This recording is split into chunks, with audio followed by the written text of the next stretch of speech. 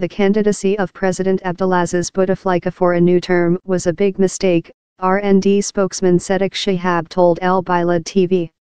Extra-constitutional forces have seized power in the past few years and ruled state affairs outside a legal framework.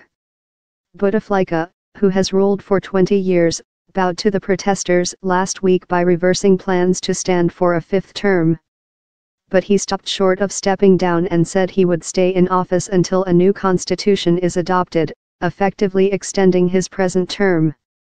His moves have done nothing to halt demonstrations, which peaked on Friday with hundreds of thousands of protesters on the streets of Algiers and have continued into this week.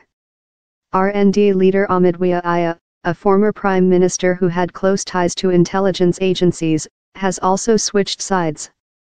The people's demands should be met as soon as possible, he told followers in a letter on Sunday.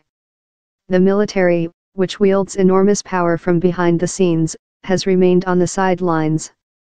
Another powerful figure, Bouteflika's younger brother Said, has kept a low profile. The president has rarely been seen in public since suffering a stroke five years ago, and the protesters say a shadowy circle of aides, including Said, have been ruling the country in his name.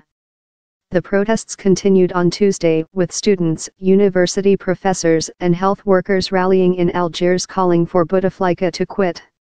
A new group headed by activists and opposition figures told the army not to interfere.